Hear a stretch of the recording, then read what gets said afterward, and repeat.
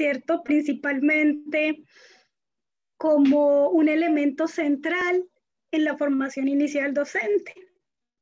Y esto lo hemos hecho en el marco de, de, un curso que se llama Aprendizaje, Diversidad y Cognición.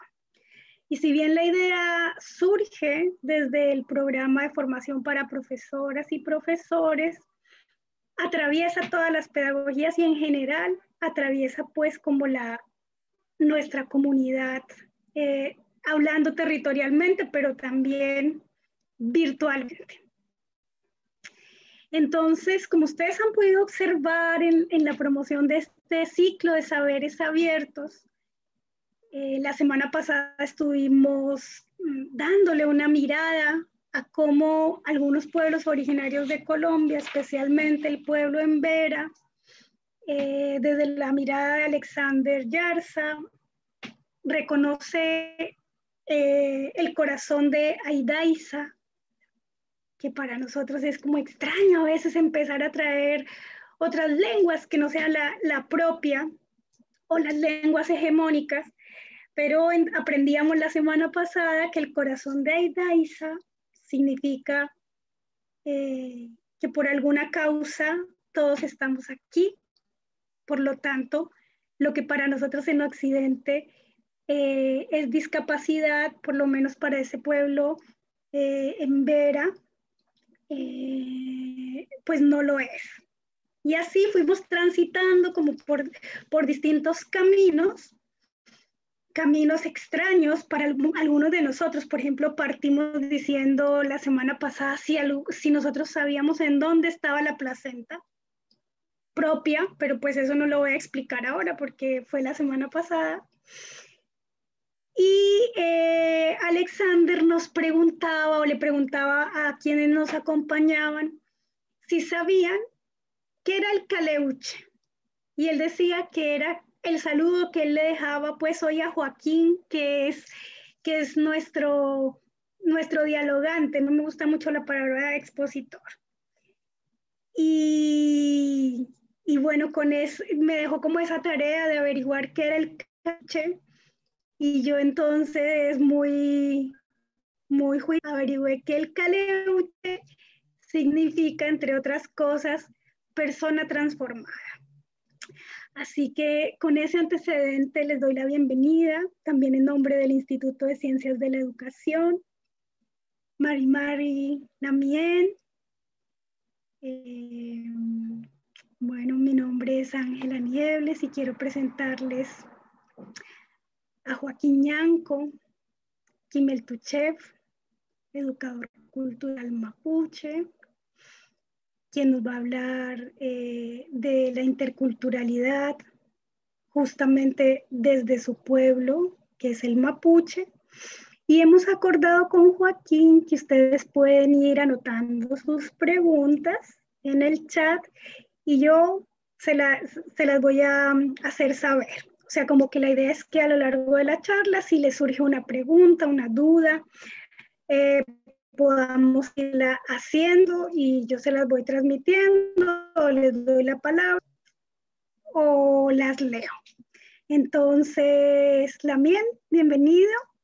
Te, te abro mi corazón, este espacio, ahora para que podamos empezar esta, esta segunda sesión de diálogo de saberes. Eh, tienes tu micrófono cerrado, mi, mi, mi amado Joaquín. Bien. Perfecto. Eh, bien, eh, Mari Mari Compuché, Mari Mari Compulamien, Compupeñi, Mari Mari eh, Chilcatufe, Inche Los Meu Tugun, Inche Kimeltuchefe y Junjimeu.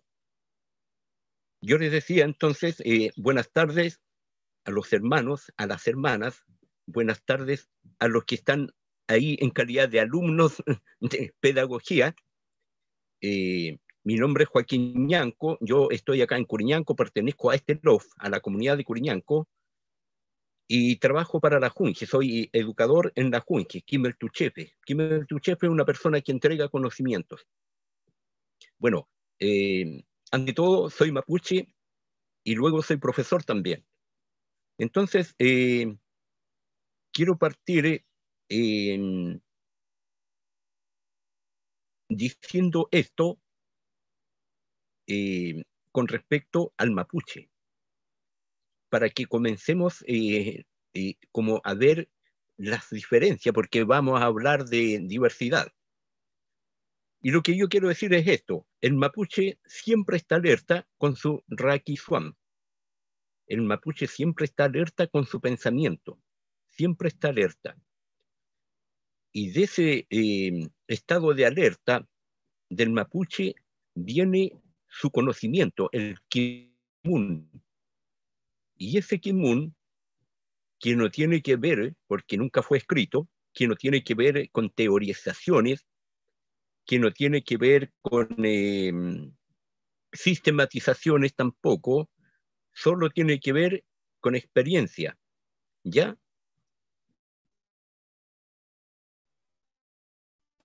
una vez Mapuche hace ciencia, practica la ciencia, también practicamos la ciencia, o sea, practicamos la antropología, perdón, la, la, antes que eh, comience eh, oficialmente el estudio de los astros, el pueblo mapuche, 2500 años atrás, antes, ya tenía nombre a cada astro, le tenía el nombre, porque el pueblo mapuche se dedicó a observar los astros y cómo influían en la vida, no solamente acá en la Tierra, no solamente en, las personas, sino también en las plantas, en los animales, en todo, en las mareas, en las aguas, en los flujos sanguíneos, en todo. Y eso es haciendo observación, ¿ya? Haciendo observación y que se practicó, porque el pueblo mapuche acá, para las personas que no lo saben, en, el Nagmapu, el territorio mapuche, el pueblo mapuche tiene una data de permanencia más o menos de 13.000 y tantos años. El pueblo Lafquenche, al cual pertenezco, tiene una data de 5.500 años aproximadamente. Entonces, em, diciendo que el pueblo mapuche siempre está alerta con su raquizuam, bueno, lo que nosotros hemos aprendido de la vida está ahí y se sigue transmitiendo de generación en generación en nuestro pueblo. Sin embargo, se cortó un poco por ahí esa transmisión de, de saberes porque hubo mucha discriminación de parte de los conquistadores o de los invasores, con el otro término con que se denomina, y después de parte del, Estado. Entonces, ahí se anduvo cortando sobre todo la transmisión de la lengua y se perdió la lengua. Entonces ahora se está recuperando de nuevo la lengua porque los conocimientos están en las comunidades todavía, las personas antiguas lo tienen, entonces nosotros valoramos, y esa es otra diferencia que ya tenemos con la cultura occidental, nosotros valoramos mucho a las personas adultas las personas adultas nos, nos, nos, en el fondo nos marcan nuestro camino, ¿ya? A diferencia de la otra cultura donde hoy día eh, realmente es una pena cuando uno ve que los ancianos se mueren solos por ahí, en un asilo, sin que nadie los visite, cuando los ancianos se mueren solos eh, en sus casas. Entonces tenemos muchas diferencias. Y como estamos hablando de las de la diferencias y de la diversidad, bueno, nosotros sabemos que la, diversidad eh, está presente en, las edades de las personas, en las generaciones de las personas, en las comunidades de personas, en, en la formación familiar y la procedencia familiar. Hay diferencia en los grupos laborales, en la migración y sobre todo hay mucha diferencia en los pueblos originarios, en las culturas originarias. ¿Cuál es la principal diferencia? que hay con las culturas originarias, hablando de la otra cultura, de la cultura occidental, la principal diferencia tiene que ver con la cosmovisión. Y la cosmovisión no es otra cosa que la observación del universo y la interpretación que nosotros hacemos del universo. Eh, solo con decirle que para nosotros la vida y la muerte no tiene el mismo significado que para la cultura occidental. Y ahí ya tenemos cosas tal vez a favor, tal vez en contra, depende de quién lo mire. Aquí no se trata de ser tajante en que esto es mejor y esto eh, no es mejor. Aquí eh, yo le estoy exponiendo em, algunos eh, principios sobre la convicción nuestra, en este caso de la cultura mapuche. Nosotros tenemos una, una, una visión del universo y lo interpretamos de muy distinta manera, y a pesar de que vivimos, ustedes que están ahí, vivimos juntos, vivimos, somos vecinos y no nos conocemos. ¿Y por qué no nos conocemos? Porque hay eh, entidades encargadas de evitar que nos conozcamos. Porque hay personas que no quieren que el pueblo chileno conozca al pueblo mapuche, porque de eso se saca partido. Lamentablemente es así y no nos conocemos. Nosotros, eh, yo pertenezco a una comunidad familiar y yo le voy a contar bien cortito lo que hacemos. En la mañana voy a visitar a mis hijas que tienen su casa ahí al lado. Mi hija viene a visitarme a mí luego vienen las nietas, los nietos, y andamos así, funcionamos eh, como una familia grande, bien unida. Eso antes era un loft, ¿ya? Entonces, haciendo la relación de esto, entrando al, tema de la, de la, ¿cómo se llama?, de la interculturalidad, eh, lo que yo lamento con respecto a la interculturalidad y muchas otras cosas que vienen eh, de arriba, que vienen de las otras culturas, de la otra cultura grande me refiero, eh, lo que lamento es que cada vez que surge ideas nuevas, ideas buenas, y se les da un nombre, en este caso interculturalidad, pero a estas alturas, con lo que va de la interculturalidad, yo pienso que es necesario colocarle, como a todo en este país sobre todo, colocarle a ese término un apellido. Porque la interculturalidad es una sola, es una sola, es una buena relación que debería darse entre las culturas, entre dos o más culturas, una buena relación, para allá apunta. Pero ya están pasando cosas extrañas en la interculturalidad, entonces hay que colocarle un apellido. Esto se me ocurrió ayer de colocarle el apellido. Y, el apellido sería interculturalidad ética. ¿Ya? Porque las cosas tienden a desviarse. Las cosas tienden a desviarse y yo que trabajo para un sistema público, uno ve a veces que ciertas culturas son eh, hegemónicas que tratan de absorber y la interculturalidad pasa a ser em, institucionalizada, ¿ya? Lo que no debería ser. La interculturalidad yo la vislumbro desde mi punto de vista cultural como la expresión de la libertad para relacionarnos, ¿ya? Eso es para mí la interculturalidad, la libertad para relacionarnos.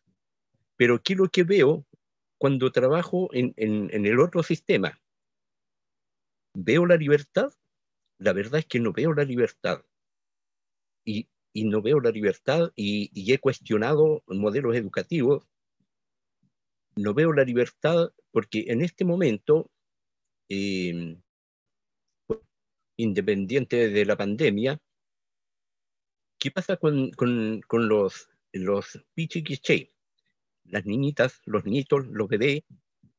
Primer, primer lugar, están encerrados en su casa, luego se van al jardín, encerrados en un vehículo, en un auto, en un furgón, en el jardín están encerrados no sé cuántas horas, después regresan encerrados en un vehículo o en un furgón a su casa y se van a encerrar. ¿Ya? Y esa es la vida de un niño. Me refiero en la otra cultura. Eh, mis nietas, esto es disculpa por ser autorreferente, pero mi nieta van a dar exámenes libres y van a estudiar en el hogar, ¿ya? Y van a dar exámenes libres. ¿Por qué? Porque es muy estresante para un niño, desde el punto de vista cultural nuestro, tenerlo encerrado todo el día. Eh, se encierra al ganado, se encierra al ganado también a veces por protección, por la depredación de algún animal mayor, pero ¿por qué tenemos que tener encerrados a los niños? ¿ya? Entonces, la libertad em, empieza a ser cuestionada porque a veces no existe. Entonces, ¿qué está pasando con el niño que siempre va a estar encerrado y siempre va a estar, eh, se le va a estar presionando para inculcarle conocimiento? El conocimiento. Le hacían una pregunta a una niña, a, a pandemia, le mandaban a preguntar, tiene lección en historia. Ya, ¿qué te motivó a realizar esta lección, a pasarla, a superarla? ¿Qué te motivó? Bueno, la niña dijo, me están obligando. Si no lo hago, me van a calificar mal y puedo quedar repitiendo. Y a usted le interesa que yo pase. Y a mí, la verdad es que no me interesa mucho lección. Entonces, eh, hay una presión por meterle los conocimientos a los alumnos, ¿ya? Y esto dentro de la cultura nuestra no pasaba. Nosotros nos educamos en estaba el abuelo, el tata, la abuelita, la papá, chachay, y se conversaban y se hacían narraciones al, lado de un fogón y se conversaban temas de la comunidad, de la familia, se contaban cuentos, EPEU se llaman los cuentos. Entonces, la educación ahí era voluntaria y, se, y no se llamaba al niño que estaba jugando, ven a escuchar un cuento. Simplemente eso se hacía cuando llovía mucho, todos estábamos adentro y conversábamos. Esto que estamos haciendo ahora es conversación, se llama Nutram. Para mí un Nutram, una conversación, ¿ya? Entonces, y los, cuentos son epeo. Entonces se, educaba de esa manera. Y además se educaba, además de, que la familia educaba a los niños y a las niñas, educaba a la comunidad. Y yo como padre no me molestaba que alguien le llame a, la atención a mi hijo o a mi hija porque yo sabía que lo estaba haciendo bien. Ya había una educación moral, había una buena educación. ¿Para qué? Para dos cosas. Para la formación de la persona, una buena formación de la persona, no en conocimientos técnicos, aquí no, no interesa lo técnico, y lo otro, ¿para qué formamos a las buenas personas? Para llegar a un término que otros pueblos originarios los tienen con otros nombres, pero nosotros les llamamos kumemoyen, el buen vivir. Para eso educamos nosotros, para eso y para eso estamos trabajando la interculturalidad nosotros, los, los mapuche, porque en el fondo tenemos que lograr eso. No solamente el mapuche. El buen vivir es algo que nos merecemos todos, independiente de qué cultura seamos, ¿ya? no, nos merecemos nosotros el buen vivir. Se lo merecen los niños, por supuesto. Todos nos merecemos el buen vivir. Y cuando el buen vivir no se da, y el buen vivir no significa estar libre de enfermedades, que lo, lo, confunden el comemos bien con la buena salud. Esto no se trata de estar libre de enfermedades, se trata de hacer, mirarnos a las caras, tal vez estamos a distancia aquí, pero yo estoy viendo a la aramien ahí, se trata de mirarnos a los ojos y conversar, ¿ya? Cuando uno mira a los ojos a la persona, sabe las intenciones de las personas y la conoce, ¿ya? Entonces, entonces, nosotros, como decía, educamos para una buena formación de la persona. Nos preocupan las personas y los niños y el bebé, la bebé, tipo yushu, decimos nosotros, o sea, los bebés, eh, ellos son personas, ¿ya? Esa es la, la otra diferencia con la otra cultura, porque al niño, a la niña o a los bebés no se le considera como personas, son eh, como allá. Algún día serán personas, dijo alguien por ahí. No, para nosotros son personas. Y van a seguir siendo personas siempre hasta que se vayan de acá. ¿Ya? Entonces, la interculturalidad eh, tiene que ser ética porque ya eh, se, se ha visto que están pasando cosas con la interculturalidad que se está transformando en, una cosa institucionalizada. que si yo contrato un educador, yo doy las reglas para la interculturalidad y aquí no tienen que existir las reglas porque no hay una cultura sobre la otra, ni la mapuche sobre la occidental, ni la occidental sobre la mapuche. Sería hegemonía de cualquiera de los dos lados que venga, ¿ya? No puede ser institucionalizada. Ahora, como agregado, eh, esto ya es netamente mapuche, pero otras culturas también lo, han pensado, la interculturalidad tiene que ser decolonizada, ¿ya? ¿Por qué decolonizada? Porque todavía quedan rezagos de la colonización eh, y quedan rezagos que a veces son muy duros todavía. Cuando uno eh, estudia un poco el tema, se da cuenta que hay, cosas duras dentro de los rezagos de colonización que están quedando. Entonces, la idea es romper las cadenas que nos hagan libres para ser mejores. Esa es la idea, que nos hagan libres para ser mejores. No libertad, no confundir libertad con libertinaje, ¿ya? La libertad principal es la que tiene uno dentro de sí mismo, porque ahí sí no se puede meter nadie, por ahora, por ahora la ciencia ha hecho tantas cosas, bueno, ustedes lo saben, la ciencia ha hecho tantas cosas buenas, pero también ha hecho, y las personas en otras culturas han hecho un muy mal uso de la ciencia, ¿ya? Entonces la ciencia en general es a veces mal vista por eso, porque se hacen cosas, eh, se mal utiliza la ciencia. Entonces, eh, Lo que tiene que hacer eh, una interculturalidad ética, en el fondo, es eh, facilitar una reflexión crítica sobre la sociedad contemporánea, porque la verdad que hay muy, muy pocos conversatorios sobre la sociedad contemporánea, pero desde un punto de vista crítico. Nosotros tenemos que ser críticos y también tenemos que ser autocríticos en la medida que podamos eh, primero conocernos nosotros mismos para poder saber quién es el otro, primero tengo que saber yo quién soy y tengo que saber como mapuche, en este caso, cuál es mi rol aquí en el Guayón Tumapu, o sea, cuál es mi rol en el universo, ¿ya? Si yo sé cuál es mi rol en el universo, si logro saberlo, es porque adquirí conciencia. Y si tengo conciencia, la conciencia me va a hacer una mejor persona, la conciencia me va a hacer cuidadoso, me va a hacer una persona responsable y respetuosa, ¿ya? Cosa que está faltando mucho hoy en día. Eh, se ve mucho, eh, bueno, es cosa de salir a la calle para ver faltas de respeto, a veces hacia las mujeres, hacia las niñas, hacia los niños, hacia los abuelos, hacia las abuelitas. Hay mucha falta de respeto en el diario vivir y eso tiene que ver un poco con la educación que viene del hogar, ¿ya? Porque no le podemos achacar todo a, la educación oficial, que entre comillas se ha deshumanizado, en mi opinión, la educación eh, se ha deshumanizado tanto.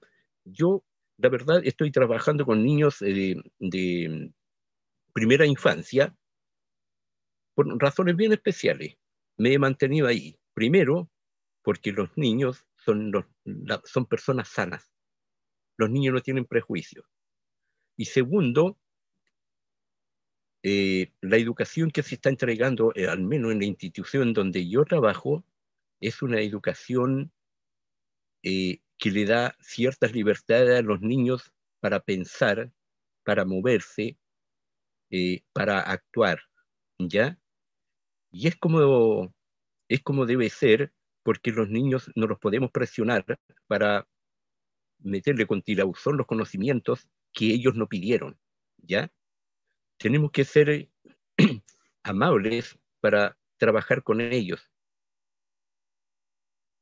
Yo trabajé con niños de, bueno, eh, niños acá, porque viví nueve años en un internado con niños de primero a octavo año éramos dos inspectores y controlábamos eh, casi 100 niños, 97 niños y niñas, que estaban casi equitativamente repartidos. Y trabajé con eh, ese entonces niños de la Villa Huilif, del Hogar de Carabineros, de Fundación Mi Casa, que nos mandaban a un internado rural porque no lo soportaban en la ciudad, y nosotros los acogíamos y esos niños se iban transformados. Caleuche, como decía la Lamien. claro, se transformaban en otras personas, que el ambiente de los niños de la zona rural era bueno, y porque cuando se educa con cariño, se llega a los niños. Hay que educar con cariño. Si yo no educo con cariño, eh, y, tal vez sea eh, demasiado tajante lo que voy a decir, pero si no soy capaz de educar con cariño, creo que no debo estar en educación. ¿Ya? Mire, yo tengo mis añitos, no se me nota, pero los tengo. Pero una vez iba pasando por una población porque trabajé en varias escuelas en Valdivia, por Cayumapo, en zonas rurales también. Y alguien me gritó, tío, eh, tío Joaquín por allá. Era un hombre alto, grande. Y me fudaron. Y era un ex alumno. Era un ex alumno, era un hombre casado. Y me decía, tío, yo no era profesor, era tío. Entonces, a mí no me interesan los títulos. No me interesa ni, el título de profesor, ni el magíster, ni el posgrado, ni nada de eso. A mí me interesa tener una buena relación con las personas. Y creo que en alguna medida lo logré. Y por eso, y, si ustedes se preguntarán, y claro, a lo mejor es petulancia decir que lo logré, y creo que lo logré, pero ¿sabe a quién se lo agradezco? se lo agradezco a la formación que me dio mi madre y mi padre. Gracias a ello, yo soy una persona feliz, porque eran unos seres tan especiales que la verdad, el, el, por ejemplo, el estrés, el agotamiento, ese tipo de cosas no tenía cabida en el hogar de nosotros. Entonces me crié con una infancia muy feliz, éramos amigos con mi viejo y con mi vieja, y resulta que cuando uno se cría en esas condiciones, uno puede lograr atesorar un mundo dentro de positividad que después puede transmitirle a otras personas tengo muy buena relación con las personas, tengo buena relación con los niños, con las niñas y con la familia, porque el mío consiste en, en trabajar con niños y niñas, pero primero tengo que trabajar con la familia, porque son sus hijos los que voy a ir a abordar. Trabajo con niños y niñas, trabajo primero con la familia, con los equipos educativos en los jardines donde trabajo, porque el equipo hay que prepararlo, porque no tiene por qué lo que nosotros, nosotros queremos transmitir, porque no fueron formados en eso. Después que trabajé con la familia y los equipos educativos, ahí recién trabajo interculturalidad con los niños y niñas y con los bebés. También le enseñamos visión a los bebés. Y usted dirá, ¿cómo se hace? Fácil, con la música, ¿ya? Se hacen muchas cosas, se pueden hacer muchas cosas, pero hay que tener la intención para hacerlo, hay que tener la disposición para hacerlo hay que pensar en positivo, hay que pensar que es posible un mundo mejor para nosotros, a pesar de que las cosas están así y están así por, por, por este país y otros países y las cosas van cambiando, pero en el fondo se van rotando solamente. Y lo que ayer era bueno, hoy día ya no es bueno y viceversa, después va a volver a ser bueno más allá. Entonces, eh, la interculturalidad para mí es eso, o sea, es bien relacionarse con el otro, no solamente con la otra cultura, con el otro, con el que tengo al lado. Es mirarlo a los ojos, saber quién es, conversar con él o con ella, ¿ya? Porque no puede ser, y esto yo eh, como que eh, es una crítica al Estado chileno, no puede ser que el Estado chileno no conozca a sus pueblos originarios, ¿ya? Eh, hoy día andaba el presidente por, eh, creo que hoy día, Araucanía, la verdad yo me pregunto a qué va.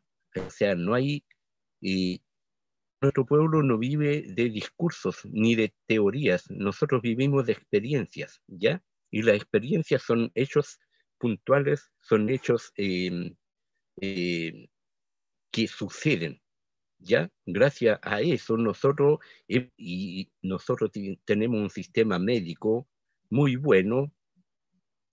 Tenemos una educación que yo para, para nuestro pueblo también se hace ciencia dentro de, de la cultura mapuche. Tenemos nuestra religiosidad, que no son religiones separatistas, es una espiritualidad que abraza a toda persona de buena voluntad y que respete la vida. y cuando hablo de la vida, no hablo solamente de la vida del ser humano. La vida está presente porque para nosotros, como bien, todo eso decimos nosotros. Otras personas dicen que somos brujos, que somos, eh, tenemos una cultura de, de las ánimas, y eso no es cierto. O sea, para nosotros todo tiene vida hasta la piedra y la respetamos. Y si usted le pregunta a un científico, claro, la piedra tiene sus átomos que están más condensados, otros que no están tan condensados, que se mueven de aquí para allá. Para nosotros es vida, ¿ya? Y por eso respetamos la naturaleza, por eso respetamos la tierra, respetamos todo lo que hay, empezando por el agua, porque el agua sí es vida. Entonces, eh, toda persona que respete eso es nuestro hermano o nuestra hermana. No necesitamos eh, estar discutiendo porque este a su Dios lo llama Alá, el otro lo llama Yahvé, el otro lo llama Jehová, el otro lo llama Dios y algunos lo llaman Yonechen. Entonces, no son motivos para, esos no son motivos de discusión para nosotros. Para mí, el hermano es aquella persona que respeta a su hermano, ¿ya? Eso es. Y la formación. Y en algún momento me voy a meter en un tema que a lo mejor a algunos no les va a gustar, pero lo voy a mencionar igual cuando se habla de terrorismo, porque se habla de la Araucanía. Para mí no hay terrorismo ahí. Y, yo el terrorismo, en, en algún momento, a esas personas que los llaman terroristas, en algún momento nosotros como sociedad echamos a perder a las personas. Porque hemos sido irresponsables, hemos sido indiferentes con el dolor de las personas, con sobre todo con el dolor de los niños en algún momento y ese niño se crió con odio, ¿ya? Y después lo expresa, a lo mejor de manera violenta. Pero eh, tenemos que hacer educación humana. Nosotros los que estamos en, en los que estudiamos pedagogía, tenemos que hacer de la educación una cosa humanizante, ¿ya? Porque la invitación es esa, porque no podemos darnos el lujo como sociedad, no solamente como sociedad mapuche, como sociedad en general, no podemos darnos el lujo de que se nos vayan enfermando nuestras personas, nuestros niños. ¿Por qué se, va a ¿Por qué se puede enfermar un niño? ¿Por qué piensan ustedes que se puede enfermar un niño? Mire, hay tantas razones, desde que le faltó el pan para comer en el día, le faltó el alimento para comer en el día, desde que lo maltrataron, desde que han pasado tantas cosas delante de los niños que a veces se hace uso hasta de armas de las instituciones uniformadas delante de los niños en algunos jardines infantiles entonces, ese tipo de cosas va enfermando a los niños y después nos quejamos del terrorismo y después nos quejamos de que por qué la gente está tan mala y no tendremos nosotros, los adultos, algún grado de responsabilidad en eso. Entonces, em, mi invitación es para las personas que están em, estudiando pedagogía. Yo, la verdad, estudié pedagogía a los 44 años después que pasé por varios internados, me di cuenta que tenía muy buena relación con los niños y con las personas en general. Entonces estudié pedagogía.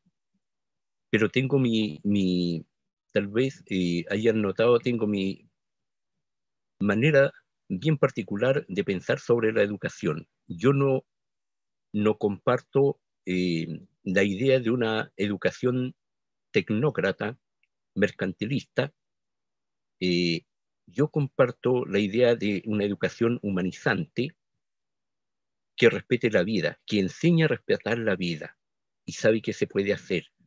Yo tengo un video cortito no, no lo quise colocar aquí porque había una niñita ahí, y la niñita jugaba con las lombrices en el patio, acá en Curiñanco, y la cuidaba.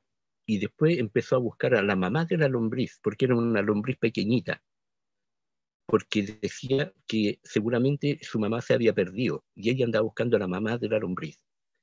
Eso se llama respeto por la vida, ¿ya? Y eso se inculca también en la familia.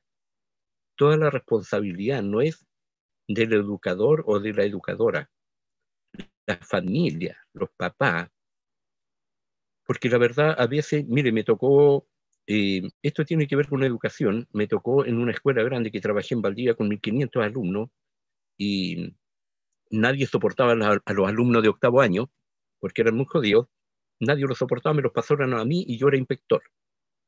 Y comencé a trabajar a partir de más o menos de julio por ahí, a trabajar, a trabajar, porque a final de año siempre habían guerras de todo entre los alumnos. Ese año no hubo nada, ¿ya? ¿Y sabe qué hacía yo? Lo mismo que estamos haciendo ahora, conversar, conversar con los niños. Pero para conversar con los niños hay que bajar el ser humano grande, bajar al, al, al nivel de los niños, ¿ya? Y yo sabía más cosas de los niños que sus propios padres sabían. Había un niño que me decía, eh, mi papá me compró un computador porque siempre llegaba atrasado, me compró un computador. ¿Y qué hace con tu computador? Miro de, de, todo en el computador, era de séptimo año, pero mi papá me deja encerrado porque tienen que ir los dos a trabajar y lo dejaban bajo llave. ¿Ya? ¿Usted cree que eso es correcto? Entonces, nosotros los adultos, aparte de decir, oh, está malo, pero ¿y qué hacemos nosotros en, acciones concretas para evitar que sigan pasando ese tipo de cosas? Nosotros las personas, los educadores, las educadoras, sean profesores, sean tías, técnicos, lo que sea, tenemos nosotros la obligación de proteger los derechos de los niños y las niñas, ¿ya? Porque cuando los papás no pueden hacerlo o no quieren hacerlo, alguien tiene que hacerlo. Porque después nos quejamos de que los niños no respetan a nadie, que aquí, que allá. Entonces, eh, mi invitación es a eso. La interculturalidad desde el punto de vista mapuche tiene que ver con una buena relación con el otro. Y ahí, cuando digo con el otro, a mí no me importa el color de la persona, no me importa cuál sea su Dios, simplemente me importa el otro. ¿ya? no me importa su edad tampoco. Entonces, para ciertos valores eh, no existe la diferencia, pero no puede existir la diversidad. Nosotros, para el amor, no puede existir la diversidad. El amor es amor en todas partes y afortunadamente no hemos tenido que colocarle todavía apellido a la palabra amor. Entonces yo les dejo la palabra a ustedes porque nadie ha preguntado nada. Sí, hay una preguntita, la mía. Sí, eh, no sé si Anita la, se la quieres leer en voz, en tu propia voz. Ana Casanova tiene una pregunta para ti. Bueno, te la voy a leer, parece. ¿Se la lee? Ah, no, dale tú, mejor Hola a todos, buenas tardes. Eh, yo tenía aquí, ya se las voy a leer textual, eh, me gustaría saber cómo en su escuela de Curiñanco, porque yo la, estuve googleando hace un tiempo, quería saber eh, cómo era la escuela. Y después quería conocerla, pero con lo de la pandemia no, no se pudo. Entonces yo quería saber más de la escuela, por ejemplo, cuántos niños hay y cómo es la incorporación de la lengua indígena. en mi caso yo trabajé en tres escuelas rurales y también había lengua indígena y nos pasaba que muchas veces la lengua indígena, indígena quedaba marginada dentro de la sala de clases porque no había eh, una comunidad que la cogiera. Y yo creo que pasa en algunos lugares que el profesor maneja la lengua y le enseña a los niños, pero los niños en la casa llegan y no tienen eh, con quién hablar, con quién practicar, eh, o no hay una comunidad que, que, que maneje la lengua. Y bueno, esa es mi pregunta en realidad. Eh, ¿cómo, ¿Cómo resulta el proceso de aprendizaje y de la apreciación y, la riqueza del lenguaje si solo se remite a la sala de clases? Yo ahí quería que nos cuente un poco su experiencia, qué es lo que pasa en su escuela. eh, bueno, no es mi escuela. Eh, yo no he trabajado de profesor en Curiñanco, he trabajado por fuera. Mira, una buena escuela lo hace un buen líder o una buena líder. Me refiero al director o directora. Si el líder está mal, la escuela nunca va a funcionar. Y eso lo tengo por seguro y se lo dije a la Junge también. Eso con respecto a una buena escuela. Cuando los liderazgos no son buenos, toda institución tiende a tambalearse. Y Curiñanco últimamente anduvo tambaleándose, ¿ya? La escuela de Curiñanco. Y con respecto a la lengua, y yo la verdad que yo no me centro en la lengua.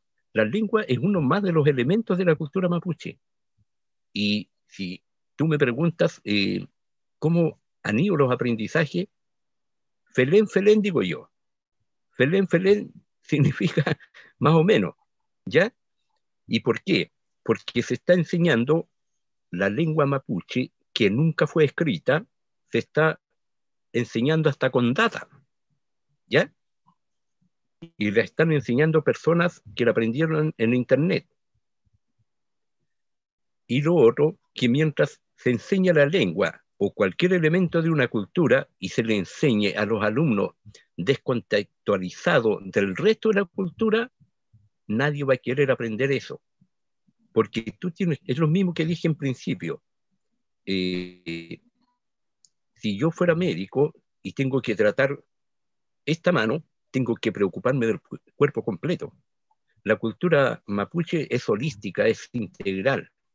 Y no se puede extraer un solo elemento para transmitirlo sin transmitir el resto.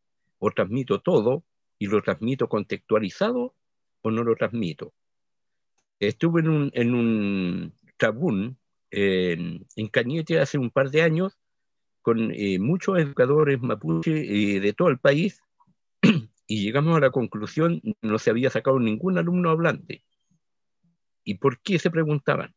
La respuesta es esa, porque se está enseñando solamente la lengua y descontextualizada. Es como si yo te enseñara inglés por fuerza, ¿ya? Yo, a mí nunca me gustó el inglés, ¿ya? Y posiblemente no me gustó porque si me hubieran enseñado en su momento, en enseñanza media, junto con la cultura inglesa, me habría llamado la atención. Pero si me vienen a, decir con traducciones literales, eso no funciona. Y nuestra lengua tampoco. No la puedo aprender de un diccionario. Porque la lengua mapuche se dice que es un idioma aglutinante. O sea, yo con, una palabra te puedo significar el universo. ¿Ya? Y eso es así. Entonces, eh, yo pienso que la EIB, la enseñanza intercultural bilingüe, no ha dado buenos resultados en opinión como mapuche. No ha dado buenos resultados. Lo único que rescato es que se está manteniendo ahí para que no se pierda. ¿Ya?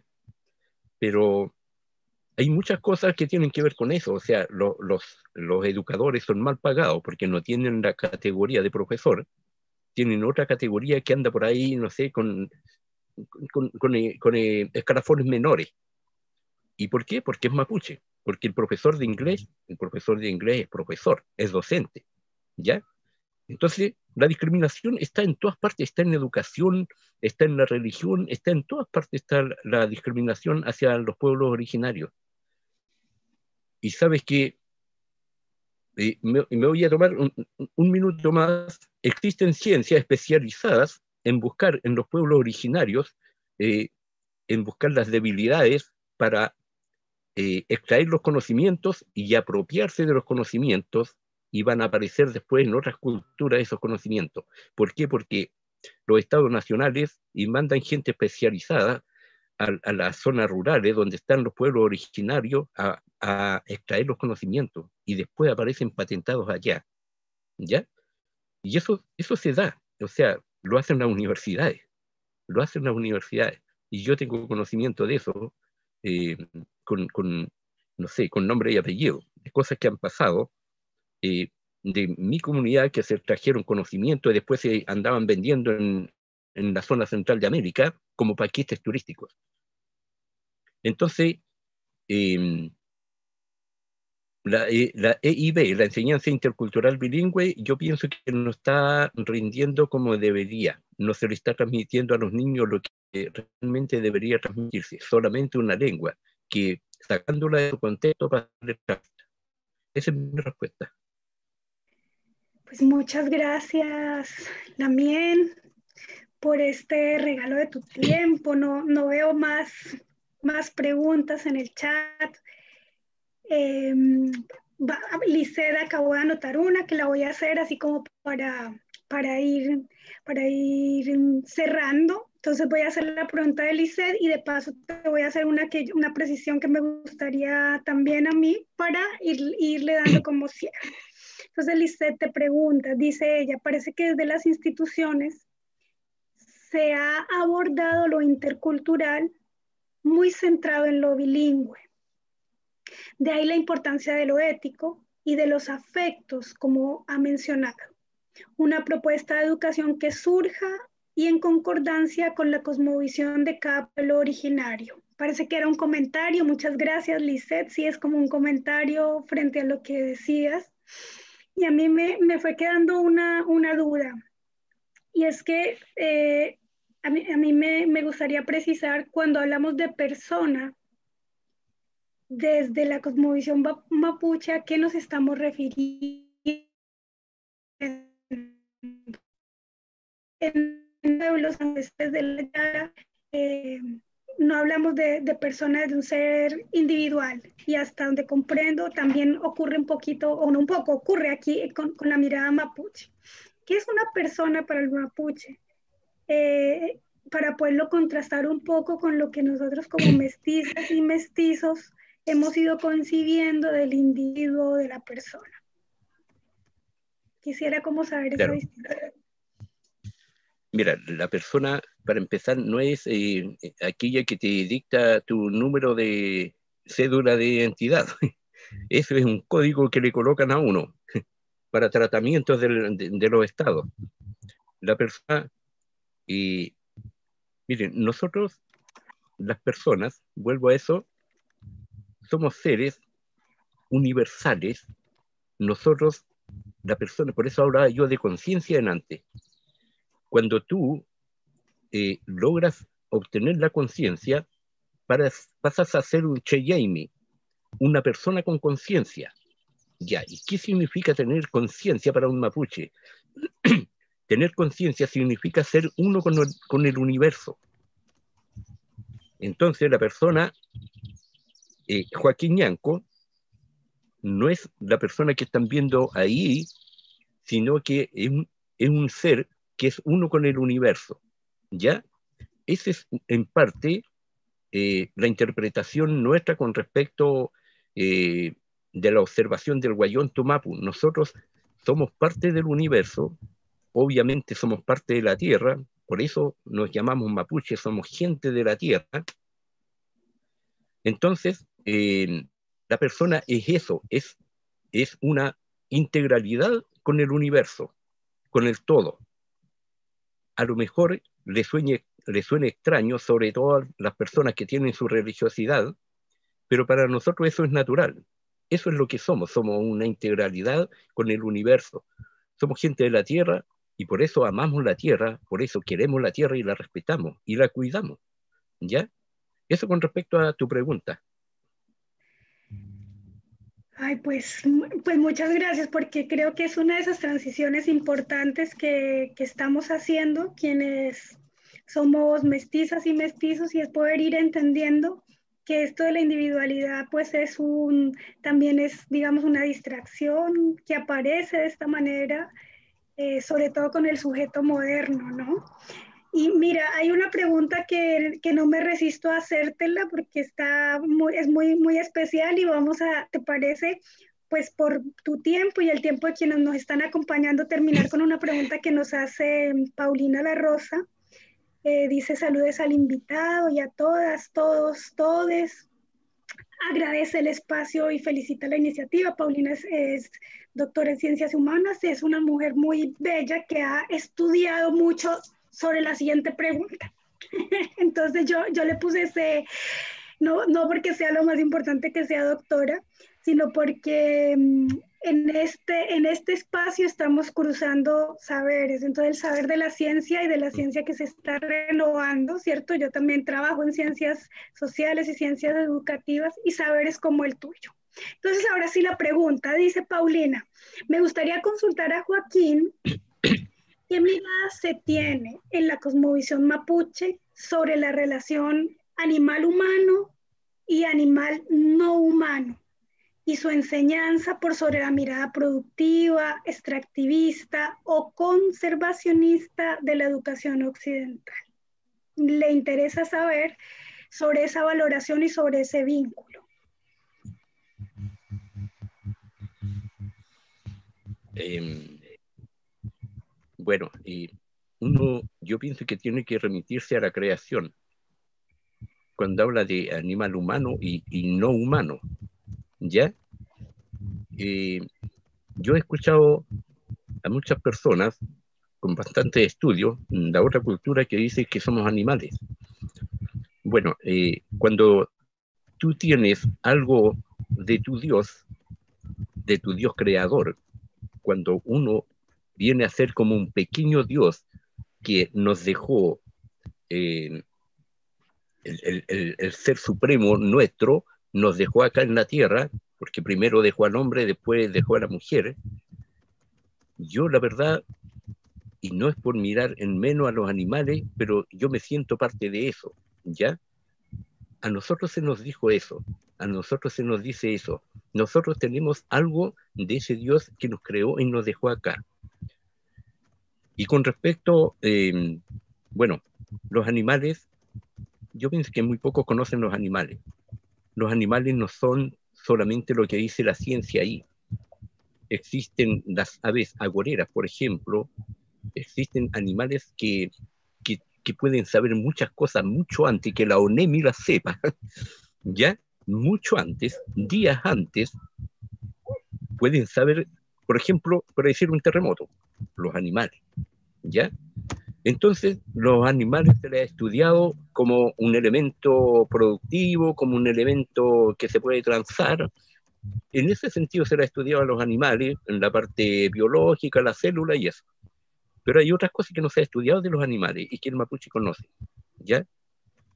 Y cuando y me habla la, la bueno, no, no, me acuerdo el nombre de la, de la persona. Paulina. Paulina, claro.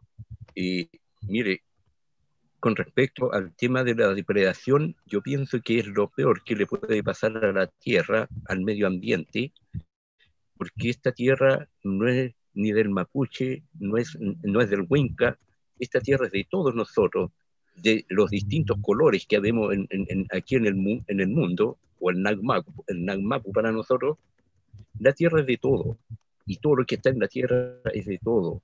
Las aguas deberían ser universales, ya no lo son. El aire debería ser universal, ya tampoco lo está haciendo, ¿ya? Entonces, bueno, están patentando por ahí. Entonces, eso sí, eso sí que es individualismo. Eso es individualismo ansias de poder, eh, ansias de acumular cosas que no tienen ningún sentido desde el punto de vista humano, porque para nosotros, mire, nosotros somos una de las pocas culturas, nosotros no figuramos por ahí en ningún libro con grandes monumentos, con pirámides, con nada se parezca a dejar estatua o cosas materiales. El valor está para nosotros el valor de la persona está en su espiritualidad. ¿Ya? Ahí está el verdadero valor. Y como decía Gastón Sublet, decía en, en, una entrevista por ahí, decía, ¿qué es lo que protegen tanto los mapuches? Él se preguntaba, y lo que se protege es eso, la espiritualidad. Y gracias a esa espiritualidad, como otras culturas, todo pueblo que es muy espiritual es muy difícil que se le borre de un plumazo su cultura, porque tenemos otra concepción de la vida y de la muerte. Entonces, el Estado chileno y por la, por la configuración política que tenemos nosotros, el Estado chileno no ha podido deshacerse del pueblo mapuche, cosa que ha intentado en innumerables oportunidades, haciendo genocidio. Entonces, eh, no lo ha logrado por eso, porque esta cultura y los hombres y las mujeres y las personas del pueblo mapuche son espirituales. ¿ya? Y mientras uno tenga ese gancho con la espiritualidad, va a ser una persona fuerte. Y por eso tampoco nos asusta la pandemia. Mi respuesta. Eh, querido Joaquín, hay como varios comentarios. Fíjate que, que, los comentarios y las palabras empezaron a salir al final. Eh, qué excelente la conversación. Muchas gracias por tus palabras y tu visión como profesor, dice Paola Vera. Paulina te responde que, que muy interesante esa dimensión, que, que, es más bien mitológica y que empieza a aparecer en los relatos de muchos niños, niñas y niñas referidos a esa experiencia. Y, y, bueno, yo te, te, voy a preguntar si tienes el tiempo de hacer una pregunta más, de responder una pregunta más, o prefieres que te la envíe después, que también es como una posibilidad, eh, dado que son las tres y media. Claro, mire, un mapuche siempre tiene tiempo. No vivimos pendientes del reloj. Bueno, yo también, bueno, yo estoy aprendiendo eso, decía la semana pasada, de ir transitando en, del tiempo, en la mitología dice así como, en vez del tiempo cronos, como ir transitando en el tiempo kairos. Entonces, bueno, eh, como estamos en libertad. circular decimos nosotros. Y tú decías que la libertad es parte presión, ¿cómo que la integralidad tiene que ver con la expresión de la libertad para relacionarnos. Entonces voy a leer la, la, pregunta de, David, que, que tiene su, su, nombre en una lengua colombiana y la olvidé, creo que Guayú, David, o quisieras hacerle tú la pregunta directamente a la miel. ¿Estás por ahí? Hola, Mari Mari. Hola. Eh, bueno, quería, quería hacer una pregunta, quería meterla primero en el contexto. Eh, bueno, eh, primero lamento haber llegado tan tarde o que esta máquina no está funcionando tan bien como quisiera. Estoy trabajando una tesis intercultural. yo yo provengo de un estudio y un nacimiento, un segundo nacimiento con una cultura colombiana llamada Guayú, que se ubica en el Guajira, en la, Guajira colombiana. Y aquí precisamente estoy haciendo un trabajo con uno, con una aymara y con un mapuche eh, de interculturalidad, una escuela intercultural, ¿sí? aquí en Valparaíso. Eh, el mapuche es el Mapuche es el lonco picunche Cristóbal Raín. Y con él está trabajando más que todo el tema del territorio y lo que significa en sí el territorio, no solamente la parte geográfica, sino todo lo que se ha construido a partir del territorio de su espiritualidad. ¿Sí? Que también se ve en relación con lo que se ha construido de, la cultura guayú y también desde la comunidad aymara. Pero lo que quiero preguntar más que todo es, ¿es qué relación tiene eh, el fuego, el viento, el agua? Bien, el fuego, el viento, el agua y, y cuál era la otra, el... La tierra. Y la tierra. En el sentido de que de lo que él me decía, eh, esto significa no solamente hombre o persona de, de tierra, sino que también la tierra se hizo persona. ¿Sí? Entonces decir que nosotros también somos tierra y tenemos los cuatro elementos. Sí. Eso.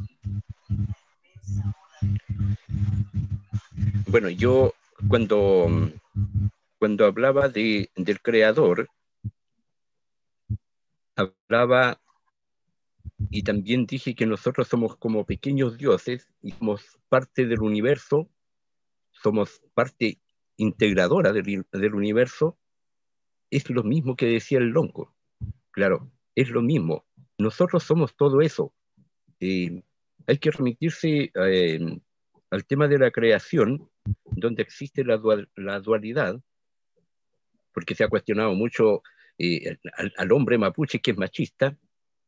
Y yo la verdad, y viéndolo sanamente, nunca lo he visto machista. Somos complementarios, complementarios. Eh, entonces, la, la, relación que hace el lonco es la misma que yo hago, solo que yo lo relacioné con, con el universo. Bueno, él lo relaciona a lo mejor con el Nagmapu. El Nagmapu es el, lugar donde vivimos todos, la tierra plana, ¿ya? La tierra aquí presente, porque arriba está el, el Bueno Mapu y la Mincha Mapu. Entonces, eso es así, eso es así. Nosotros somos parte de la tierra, pero somos parte del universo, pero también somos esa parte que nos dio el creador, ¿ya? Y la tierra es parte nuestra. No es que sea nuestra la tierra. Esa es la diferencia con la otra cultura. La tierra no es nuestra.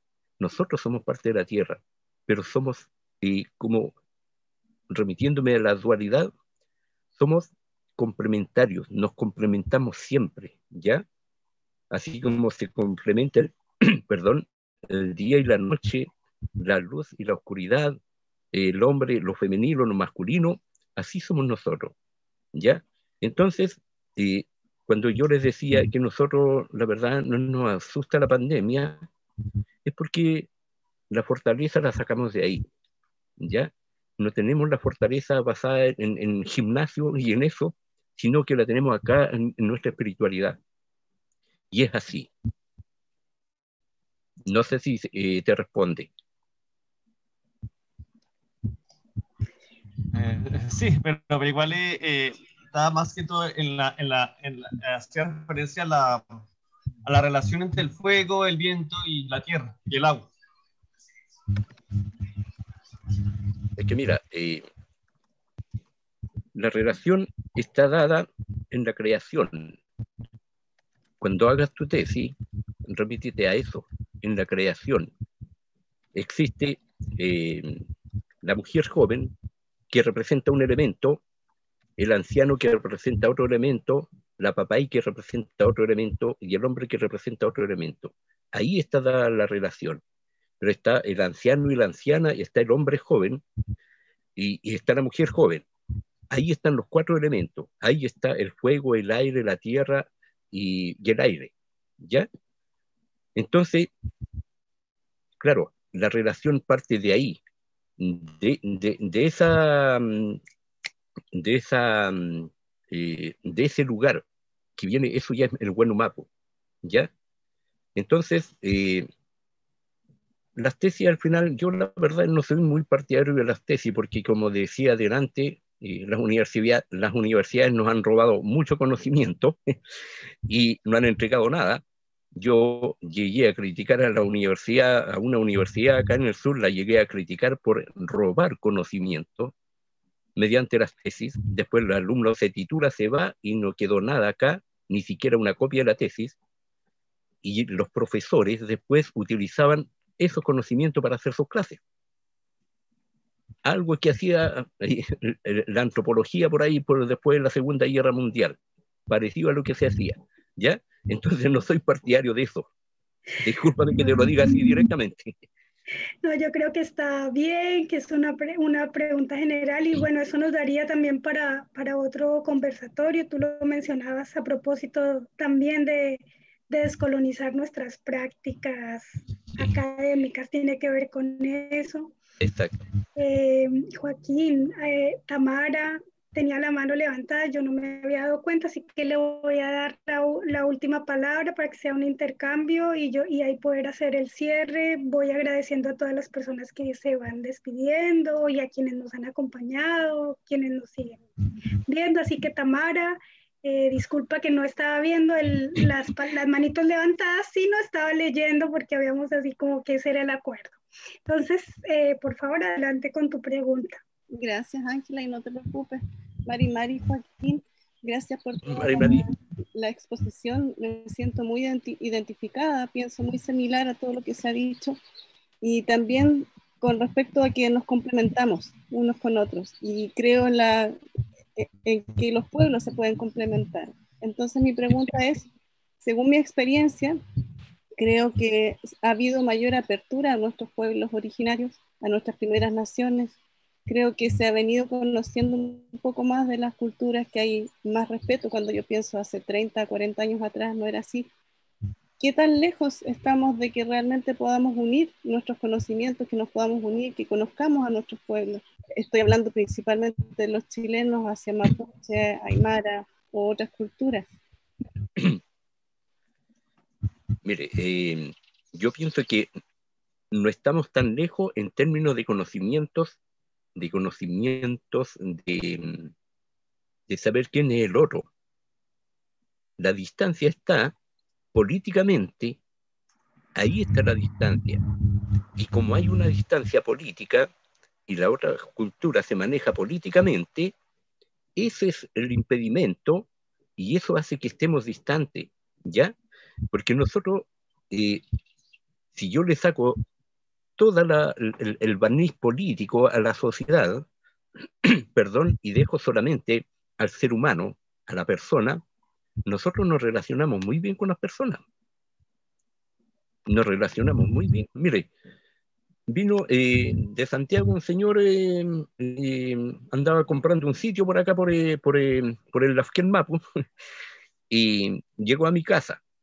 Era de Santiago lo invité, teníamos justo una cazuela ese día y lo invitamos al almuerzo porque andaba solo y estaba lloviendo. Pero me dio la impresión de que podía ser un uniformado. No importa. Lo invitamos a almorzar, comimos con mi familia y el señor se fue. Después pasó como un año y medio y el señor había comprado en un lugar no sé por dónde por allá, pero vino a saludarnos y agradecernos que habíamos abierto la puerta y la comida. ¿Ya? Entonces, pero si yo le coloco el uniforme al señor o le coloco un cargo político, las cosas cambian. Entonces, ese tipo de cosas están obstaculizando la buena relación con el pueblo chileno. Y el pueblo chileno es mucho más. ¿Ya? Entonces, yo no lo veo lejano. Yo tengo muy buena relación con todo tipo de personas. No lo veo lejano, pero tenemos que seguir haciendo esto. Tenemos que seguir conversando en la medida que conversemos, nos vamos a conocer. Y, es bueno conocerse, pues, o sea, yo hoy día me voy a ir feliz de haber conversado con ustedes. No los conozco, pero igual me voy a ir feliz. ¿Ya? No lo veo lejano. Chaltumay, Chaltumay, desde mi piuque, muy agradecida contigo, con todas las personas que se han dado este tiempo de participar en este diálogo de saberes. Soy convencida del éxito de la vida, del instinto biológico que habita a, todo lo vivo, no solo a los humanos. Y también estoy convencida que los espacios de creación de conocimiento, como son la universidad, se están renovando, se tienen que renovar porque la crisis civilizatoria no nos da otra opción. Entonces agradezco mm, este segundo flujo eh, de, saberes, de visiones, de miradas. Eh, y quiero invitar, pues, a aprovechar también la próxima semana, el próximo martes a las 12.30, tendremos también a una gran persona que se llama Martín Ignacio Torres, y él estará haciendo una reflexión sobre las personas trans trans en Chile, también pues desde los relatos de experiencia, que es algo que hemos querido recuperar en este espacio, algunos dirían que vivimos en actuados y desde los Embera, desde los Mapuche, lo que estamos diciendo es que vivimos el tiempo presente donde se condensa, se condensa el pasado y el futuro. Y a veces eso, eso suena muy extraño, pero empezar a traer Em, estas nuevas visiones al servicio de un público más amplio creo que nos deje mucho. Así que en nombre propio agradezco tu participación, la y la participación de cada una de las personas que se regaló hoy el espacio. Entonces nos vemos la próxima semana a las 12.30. Pueden inscribirse al mismo correo, gloria.niebles.watch y seguimos en contacto. Pronto nos tomaremos un mate cara a cara.